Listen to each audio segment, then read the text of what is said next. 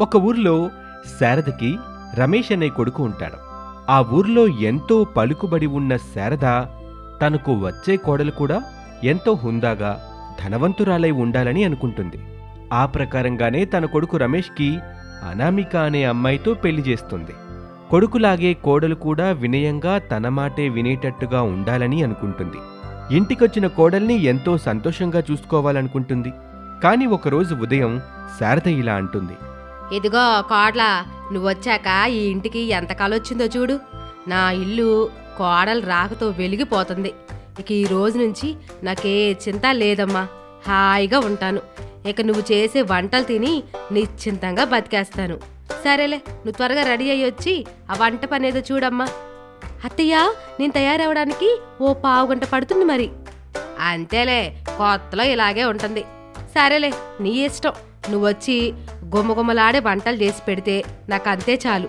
వెళ్ళి రెడీ అయ్యి రాపో. తన గదిలోకి వెళ్ళిన అనామిక పావు గంటైనా కూడా బయటకు రాదు. అత్తగారికి కోడలు ఏం చేస్తుందోనని సందేహం కలుగుతుంది. వెంటనే అనామిక గదికి వెళ్తుంది. అక్కడ అనామిక మేకప్ వేసుకుంటూ కనిపిస్తుంది. అరే ఏంటమ్మా ఇది? ఇంట్లో వంట చేయడానికి కూడా ఎంతలా ముస్తాబవుతున్నావు? అక్కడ వంట చేయడానికి ఇవన్నీ ఎందుకమ్మా? అత్తయ్య నేను ఏ పని చేసినా ముందు ఇలాగే ముస్తాబవుతాను మీరెళ్ళి కూర్చోండి. నేను వెళ్ళి క్షణంలో వచ్చేస్తానుగా. సరేలా అమ్మా త్వరగా రా. అవతల తినడానికి టైం అవుతుంది కదా. నువ్వొచ్చి వంట చేస్తే అందరం కలిసి తినొచ్చు. అత్తగారు అలా చెప్పి వరండాలోకి వెళ్ళి కూర్చుంటుంది. క్షణంలో వచ్చేస్తాను అన్న కోడలు ఎంతకీ రాదు. అత్తగారికి ఈసారి కోపం వస్తుంది. కోడల్ని ఏదో ఒకటి అడిగి కడిగి పారేయాలని అనుకుంటుంది. కానీ కొత్త కోడలు కదా. అందుకే ఏమీ అనకూడదని మనసులోనే అనుకుంటుంది. ఇక ఈసారి అనామిక ఇంకా రాకుండా లోపల ఏం చేస్తుందోనని తెలుసుకోవాలి అనుకుని లోపలికి వెళ్తుంది. ఏంటమ్మా నువ్వింకా మేకప్ వేసుకుంటూనే ఉన్నావా? ఉదయం టిఫిన్ చేయలేదు. కనీసం మధ్యాహ్నానికైనా భోజనం చేస్తావా? అత్తయ్య మీకేం వండమంటారు? అమ్మాయి నేను చికెన్ బిర్యానీ తిని చాలా రోజులైంది గాని మన పనోడితో చెప్పి కోడిని తెప్పించాను. నువ్వు వాటిని మంచి మొక్కలుగా చేసి చికెన్ బిర్యానీ బాగా వండాలి. నువ్వు చేసే ఆ బిర్యానీ వాసనకే నా మనసు ఉప్పొంగిపోవాలి ఊరు జనం మొత్తం మన ఇంటి ముందు వాలిపోవాలి. సరేనా? బాగా చెయ్యాలమ్మా. నేను అలా వరండాలో కూర్చుంటాను. అయ్యాక పిలు. సరేనా? సరే అత్తయ్య. శారద మాటలకి అనామిక ఏదో సాధించాలనే ధీమాతో వంటగదిలోకి వెళ్తుంది. అత్తయ్య తెప్పించిన కోడిని చూస్తుంది. ఇక అనామికాలో ఉండే బ్యూటీషియన్ మేల్కొంటుంది. ఆ కోడ్ని బాగా డెకరేట్ చేస్తూ సమయాన్ని కూడా మర్చిపోతుంది. సమయం సాయంత్రం నాలుగు గంటలవుతుంది. ఆకలితో అలమటిస్తూ ఉంటుంది శారద. ఇంకా వంట రెడీ కాకపోవడంతో కోడలి మీద చాలా కోపం వస్తుంది. ఎంత సమయం అవుతుంది? బిర్యానీ వాసనే రాలేదు. అసలు ఈ కోడలు ఎంతసేపు ఏం చేస్తూ ఉంటుంది? వంట చేయమంటే నా కడుపులో మంట పెట్టేస్తుంది. చిచ్చి ఈ రోజు నిద్రలేచి ఎవరి ముఖం చూసానో ఏమో. అంతా ఇలాగే జరుగుతుంది. అంటూ శారద కోడలి వద్దకు వెళ్ళి చూస్తుంది. అనామిక చేసిన పనికి అవాక్కవుతుంది కోడికి మేకప్ వేసి ఆ తర్వాత దాన్ని అలంకరించి ఉంటుంది. అది చూసిన అత్తగారు షాక్ అవుతుంది. అరే ఏంటమ్మాయి ఇలా చేసావేంటి అది బిర్యానీ చేయడానికి తెచ్చిందని నీకు తెలుసు కదా? అయినా నువ్వు దాన్ని అలా చేసావేంటమ్మాయి అయ్యో అత్తయ్య క్షమించండి. దాన్ని చూస్తే నాకు బిర్యానీ చేయాలని అనిపించలేదు. దాన్ని బాగా ముస్తాబు చేయాలని అనిపించింది అత్తయ్య. ఆ సమయంలో నాకు బిర్యానీ గురించి గుర్తుకు రావడం లేదు అత్తయ్యా. అయ్యో అయ్యో ఏంటమ్మాయి? నీకు ఇదేవి రాగో? ఈ మేకప్ ఇచ్చేటి నీకు? పెళ్ళి చేసే ముందు మీ వాళ్ళు ఎవ్వరు నాకు ఈ విషయం గురించి చెప్పనే లేదే ఈ రోజంతా పస్తులు పెట్టావు. ఆకలి చచ్చిపోయింది కూడా. నీ మొగుడు రమేష్ ఇంటికి వచ్చే సమయం కూడా అవుతుంది. ఇప్పుడు అడిగే సమాధానం చెప్తావు? మరేం పర్వాలేదు అత్తయ్య. ఆయన వచ్చేప్పటికి నేను రెండు నిమిషాల్లో రెడీ అయ్యి ఫుడ్ రెడీ చేసేస్తానుగా. మీరు అలా చూస్తూ ఉండండి. అంటూ అనామిక మ్యాగీ ప్యాకెట్లు తీసుకొని వాటిని రెడీ చేస్తుంది. అత్తగారికి కోపం చెర్రెత్తుకొస్తుంది. చికెన్ బిర్యానీ తినాలనుకుంటే కోడలు ఇలా చేసిందేంటబ్బా అని తనలో తానే గొనుక్కుంటూ ఉంటుంది. ఇక రమేష్ ఇంటికి చేరుకుంటాడు. తన భార్య చేసి వడ్డించిన ఆ వంటకాన్ని తింటాడు. తన తల్లి ఎలా ఉందో కూడా పట్టించుకోడు. భార్య మాటలకి మురిసిపోతూ అనామిక నవ్వునే చూస్తూ ఆ మ్యాగీని లాగించేస్తాడు. ఇక ఆ తర్వాత శారద వైపు చూస్తాడు. పట్టరానంత కోపంతో శారద ఊగిపోతూ ఉంటుంది. ఏమైందమ్మా? ఎందుకలా ఉన్నావు? నీ భార్య చేసిన ఆ ముదనష్టపు వంటకాన్ని తింటూ మురిసిపోతున్నావు కదా. అది చూసి నా కడుపు నిండిపోయిందిలే. అందుకే ఇలా ఉన్నాను. అబ్బా అలా అనకమ్మా. అసలేం జరిగిందో చెప్పు. శారద తన కోడలు చేసిన నిర్వాకం గురించి చెప్తుంది. తల్లి చెప్పిన మాటలకి రమేష్ ఆశ్చర్యపోతాడు. కొత్త కదమ్మా రాను రాను తెలుసుకుంటుందిలే. నేను అసలే బాగా అలసిపోయినాను విశ్రాంతి తీసుకుంటాను. నువ్వు కూడా తినేసి వెళ్ళి పడుకో. అంటూ రమేష్ తన గదిలోకి వెళ్ళి పడుకుంటాడు. ఇక ఆ రాత్రి గదిలోకి పాల గ్లాస్తో వెళ్తుంది అనామిక. అనామికను చూసి నవ్వుకుంటూ పాలు తాగి పడుకుంటాడు. మరుసటి రోజు ఉదయం నిద్రలేచి వరండాలోకొస్తాడు. రమేష్ని చూసి శారద బావురుమంటుంది. ఒరే రమేష్ నీ ముఖం వెంట్రా ఇలా అయిపోయింది? రాత్రి కూడా బాగానే ఉన్నావు కదరా? ఉదయాన్నే నీ ముఖాన్ని ఆ కోడల పిల్ల మార్చేసి ఉంటది రమేష్ అద్దంలో తన ముఖం చూసుకుంటాడు. రమేష్ ముఖానికి మేకప్ వేసి ఉంటుంది అందువల్ల తన ముఖం చూసి ఆశ్చర్యపోతాడు. అనామికను పిలిచి అసలు విషయం ఏంటో తెలుసుకుంటాడు. నాకు మేకప్ అంటే చాలా ఇష్టమండి. పెళ్ళి చేసుకొని ఒక పెద్ద బ్యూటీ పార్లర్ పెట్టాలనుకున్నాను. నా టాలెంట్ మీకు తెలియదు కదా. అందుకే ఇలా చేసి చూపించాను. ఎలా ఉందండి? అనామిక మాటలకి రమేష్ నవ్వలేక ఏడవలేక అలా చూస్తూ ఉండిపోతాడు. తన తల్లి శారదను తీసుకొని పక్కకి వెళ్ళి గుసగుసలాడతాడు. ఆ తర్వాత నవ్వుతూ తన భార్య దగ్గరికి వస్తాడు. చూడనామిక నేను మా అమ్మ కలిసి ఒక నిర్ణయం తీసుకున్నాం. నీ టాలెంట్ని మేం గుర్తించాం. భవిష్యత్తులో ఇంటికి మాకు ఎటువంటి ఇబ్బంది కలగకుండా ఉండాలంటే నీకు నచ్చిన పనిని నీతో చేయించాలని నిర్ణయం చేసుకున్నాం. నీ టాలెంట్ మాకే కాదు ఊరంతా కూడా తెలియాలి కదా. అందుకే ఇంటి ముందుండే చెట్టు కింద నీతో బ్యూటీ పార్లర్ పెట్టించాలి అనుకుంటున్నాం. రమేష్ చెప్పిన మాటలకి అనామిక చాలా సంతోషిస్తుంది.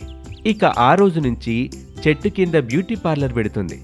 చాలామంది అనామిక వద్దకు రావటం మొదలు పెడతారు. చూస్తూ ఉండగానే అనామిక పేరు చుట్టుపక్క గ్రామాల్లో కూడా మారుమోగుతుంది. అనామికను చూసి శారదా రమేష్ ఇద్దరూ చాలా సంతోషిస్తారు. రామచంద్రపురం అనే ఊర్లో శారద అనామిక అనే అత్తాకొడలు ఉండేవారు. శారద కొడుకు రమేష్కి తన తల్లి మాటలే వేదం. భార్య చెప్పిన మాటలు వినకపోతే ఇక అనామిక చేతిలో అయిపోవాల్సిందే. అత్తాకోడలు ఎప్పుడూ బద్ధశత్రువుల్లా ఉంటారు. వారి మధ్య రమేష్ పాప నలిగిపోతూ ఉంటాడు. రోజూ అత్తాకోడళ్ళ గొడవలు అరుపులు ఆ ఇంటి నుంచి వినిపిస్తూనే ఉంటాయి. ఒకరోజు అనామిక ఇలా అంటూ ఉంటుంది. రేపు మా ఊర్లో జాతర ఉంది కదా ఎలాగైనా సరే ఒక మంచి పట్టు చీర కట్టుకొని నగలు పెట్టుకొని దర్జాగా మా ఊరెళ్ళాలి కానీ ఏం లాభం? నా దగ్గరేమో పట్టు చీరలు లేవు నగలు కూడా ఏమీ లేవు. అత్తని అడిగితేనేమో బిల్డప్ ఇస్తుంది. నాకిక వేరే దారే లేదు. ఎలాగైనా సరే అత్త దగ్గరే పట్టు చీర నగలు తీసుకొని ఊరికెళ్ళి రావాలి. ఓసారి వెళ్ళి అడుగుతాను. ఏమంటుందో చూద్దాం. ఇక ఇంతలోనే శారద నీళ్ళ కోసం బిందెలు తీసుకొని నీళ్ళు తేవడానికి వెళ్తూ ఉంటుంది. ఇదిగో అత్తయ్య ఎక్కడికి వెళ్తున్నావు ఆ బిందెలు ఎక్కడికి? ఈ రోజు ఎందుకో నువ్వు మూడిగా ఉన్నట్టు కనిపిస్తున్నావే. లేదులే అమ్మా ఊర్లో జనాలందరినీ ఈ రెండు బిందెల్లో వేసుకొని తీసుకొద్దామని వెళ్తున్నానులే. నీలాంటి కోడలు ఉన్నప్పుడు నాకు ఆ మాత్రం తెలివి ఉండాలి కదా. అయ్యో అంత వెటకారం ఎందుకులే అత్తయ్య? నన్నెప్పుడు నీ బద్ధశత్రులాగే చూస్తావెందుకు నేను నీ కోడలు నన్ను మర్చిపోయావా? కోడలు తోడేలు ఒకటేనని పెద్దలు ఎప్పుడో చెప్తే విన్నానులే. ఇంతకీ ఏంటో విషయం? ఈరోజు ఎందుకో అంతలా ప్రేమ కురిపిస్తున్నావే? ఏంటో సంగతి? మరేం లేదత్తయ్య. రేపు మా ఊర్లో జాతర ఉంది. నేనేమో ఖచ్చితంగా వెళ్ళాలి. నా దగ్గర అన్ని సాదాసీదా చీరలే ఉన్నాయి. పైగా నగలు కూడా ఎక్కువగా లేవు. నువ్వేమైనా ఇస్తే నేను సంతోషంగా జాతరకి వెళ్ళొస్తాను అత్తయ్యా. అయ్యో ఆ బోర్ దగ్గరికి వెళ్ళి నీళ్ళు తేవాలిగా మరి నేను. ఎందుకో ఈరోజు నాకు నీళ్ళు తేవాలని అనిపించట్లేదు అన్నామిక ఏం చేయాలో అర్థం కావట్లేదు. చెట్లకేమో నీళ్ళు పోయాలి. అత్తయ్య మీకెందుకు అంత శ్రమ? నీళ్ళే కదా కావాలి. నేను తెస్తాను. ఆ బిందులు ఇవ్వండి అంటూ కోడలు అనామిక అత్తగారి శారద దగ్గర నుంచి బిందెలు తీసుకుంటుంది. నీళ్ళు తీసుకురావడానికి బోరు దగ్గరికి వెళ్తుంది. అలా నీళ్ళు తీసుకొస్తూ తొట్టెలో పోస్తూ ఉంటుంది. ఇక అలా మధ్యాహ్నం అయిపోతుంది. అయినా సరే నీళ్ళతో ఆ తొట్టె నిండదు. శారద నీటి తొట్టికి రంధ్రం చేసి ఆ నీళ్ళని పెరట్లో ఉన్న మొక్కలకి మళ్ళిస్తుంది. అందుకే నీళ్ళ తొట్టె నిండదు. ఇది తెలియని అనామిక నీళ్ళు తెచ్చి పోస్తూనే ఉంటుంది. అబ్బబ్బా! ఎన్ని బిందెలు నీళ్ళు తెచ్చిపోస్తున్నా? ఈ తొట్టి నిండట్లేదే. తొట్టికి ఉన్న రంధ్రం కూడా పడలేదే. మరి నీళ్ళు మాత్రం ఎలా మాయమవుతున్నాయి? ఇంకో బిందె తెచ్చి నీళ్ళు తెస్తాను. అని అనుకుంటూ అనామిక మళ్ళీ బోరు వద్దకు వెళ్తుంది. కొంతసేపటికి అనామికకి కాళ్ళు చేతులు నొప్పులొస్తూ ఉంటాయి.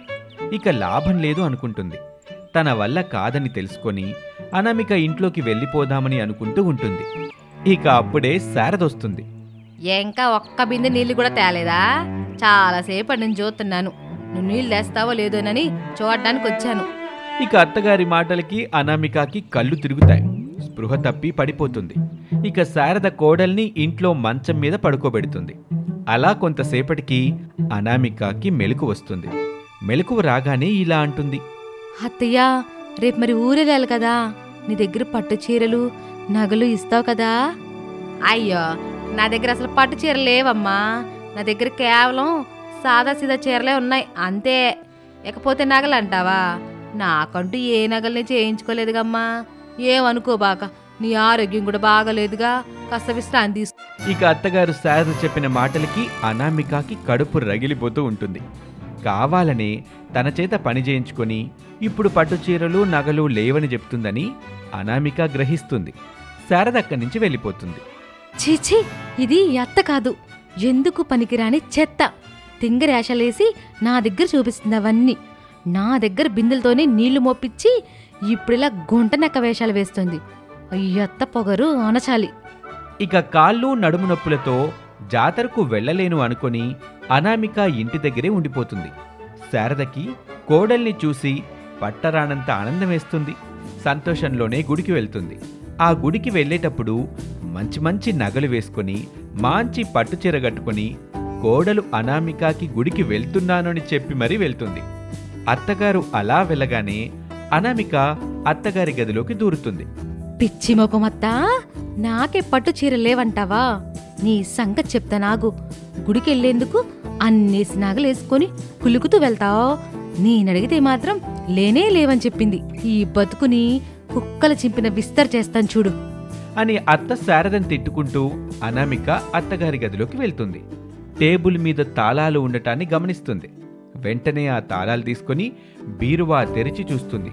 బీరువాలో ఉన్న వస్తువులన్నీ చూసి షాక్ తింటుంది. ఓర్ నాయనో ఎన్నేసి పట్టు చీరలో ఎంత బాగున్నాయో ఇన్ని చీరలు ఇంట్లో పెట్టుకుని ఆ దొంగ మొహంది. పట్టు చీరలే లేవని చెప్పింది. కుళ్ళు బొద్ది. చీరలు ఇచ్చేందుకు దాని మనసు ఒప్పుకోలేదు. ఇక అనామికకి మరో చోట కళ్ళు చెదిరి నగలు కనిపిస్తాయి. అయ్యి బాబోయ్ ఈ నగలు ఎంత బాగున్నాయో. నగలు చీరలు పెట్టుకుని కూడా నాకు ఇవ్వకుండా నాతో పని చేయించుకుంది. ఈ అత్తకి సరైన బుద్ధి చెప్పి తీరాల్సిందే. అంటూ అనామిక బాధపడుతూ ఉండగా ఇంటి గుమ్మం దగ్గరికి ఓ బిచ్చగాడొస్తాడు. వాడికి అత్తగారు నగలు చీరలు అన్నింటినీ ఇచ్చేస్తుంది. బిచ్చగాడు చీరలు నగలు తీసుకుని వెళ్ళిపోతాడు. వాడు ఆ పట్టు చీరల్ని గుడి దగ్గర ఉన్న వాడి భార్యకి ఇస్తాడు. ఆమె ఆ పట్టు చీరల్ని నగల్ని చూసి ఎంతో సంబరపడిపోతూ ఉంటుంది. ఇక అప్పుడే గుడి నుంచి బయటకు వస్తూ ఉంటుంది శారద. వాటిని చూసి కంగారు పడుతుంది. అవి తన నగలు తన చీరలే అని శారద గుర్తిస్తుంది. ఇవన్నీ నీకెలా వచ్చాయ్యా ఎవరిచ్చారు నీకు? మీలాంటి పుణ్యాత్మరాలు దానం చేసిందమ్మా. అయ్యయ్యో ఎంత మోసం. ఇవన్నీ నా నగలేనయ్యా బాబు నా చీరలే. కావాలంటే మా ఇంట్లో వాళ్ళని అడగండి వెళ్ళి. పదండి అమ్మ అడుగుతాను. మీ ఇంట్లో వాళ్ళు ఎవరు చెప్పినా నేను వీటిని మీకే ఇచ్చేస్తాను. పదండి వెళ్దాం. ఇక ఆ బిచ్చగాడు శారద ఇద్దరు వాళ్ళ ఇంటికి చేరుకుంటారు. అమ్మ అనామిక ఈ బిచ్చగాడి దగ్గరున్న నగలు పట్టు చీరలు ఇవన్నీ నావే కదమ్మా. నువ్వన్నా చెప్పమ్మా వీడికి వీడు అవి ఎవరో ఇచ్చారని చెబుతున్నాడు. మీకు అసలు నగలు లేవు కదా అత్తయ్య? పట్టు చీరలు కూడా లేవు కదా? సాదా సీదా చీరలే కదా? కట్టుకుంటున్నారు. మళ్ళీ వాడి దగ్గరున్నవి మీవని ఎలా చెప్తారో? ఇలా ఇంటి పరువుని బజార్కి లాగబాకండి అత్తయ్య. కోడలు అలా చెప్పడంతో బిచ్చగాడు ఎంతో సంతోషిస్తాడు. అయ్యో బుద్ధి గడ్డి తిని నీకు అలా చెప్పానమ్మా. నీకు నా నగలో పట్టు చీరలో ఇవ్వకూడదని అలా చేశాను. నా తప్పుని క్షమించమ్మా. అవి ఎంతో విలువైన చీరలో. ఇక శారద అలా చెప్పగానే అనామిక అసలు విషయం చెప్తుంది. ఆ బిచ్చగాడికి తానే వాటిని ఇచ్చానని చెప్తుంది. ఇక అత్తగారు తన తప్పును తెలుసుకుంటుంది. ఇక ఆ తర్వాత అత్తాకోడళ్ళు ఏ విషయంలోనూ వాదులాడుకోకుండా కలిసిమెలిసి సంతోషంగా జీవిస్తూ ఉంటారు. వారిని చూసి రమేష్ కూడా సంతోషిస్తాడు.